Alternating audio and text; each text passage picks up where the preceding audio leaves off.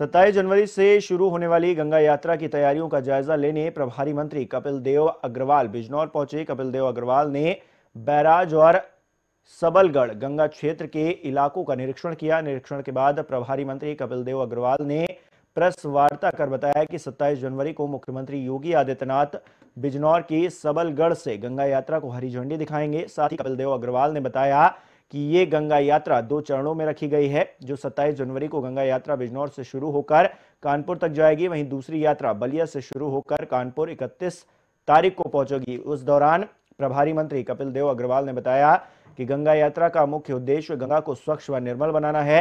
बता दें कि गंगा यात्रा को लेकर ज़िले का प्रशासन पूरी तरह से मुस्तैद है, जिसके चलते युद्ध स्तर पर सौंदर्यकरण का काम किया जा रहा है। वहीं सिंचाई विभाग, किसानों व दबंगों के कब्जे से गंगा की अवैध जमीनों को मुक्त कराने में जुटा हुआ है। साथ ही कार्यक्रम के माध्यम से जिन जिन जनपदों और गाँवों से होकर गंगा गुजरती है, वहाँ के लोगों को गंगा के प्रति जागरूक भी किया जा रहा है। और वो दुर्गम है लेकिन वहाँ से ही गंगा यात्रा का शुभारंभ हो। ऐसा हमारे मुख्यमंत्री जी को रिपोर्ट अभी हम बना करके जिलाधिकारी के माध्यम से हम भेजेंगे और पिन पॉइंट करके पूरा कार्यक्रम आपको यात्रा के दौरान क्या प्रोग्राम रहेगा? दो रथ रहेंगे उनको हमें रहेगा हमारे सारे जनप्रतिनिधि रहेंगे और सारी जनता को उसको मोटिवेट करने का कार्यक्रम है क्योंकि केवल जनप्रतिनिधि का नहीं चलेगा। जो क्षेत्र की जनता है वो क्षेत्र की जनता ये संकल्प ले कि गंगा में किसी भी प्रकार की अशुद्धि हम लोग न डालें।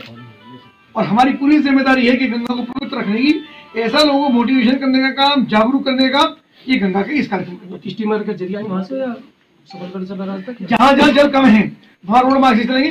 अच्छा स्टीमर संभव है वहाँ स्टीमर चलेंगे। यहाँ के बाद हस्तापुर में कार्यक्रम है हस्तापुर के बाद फिर आगे बढ़ जाए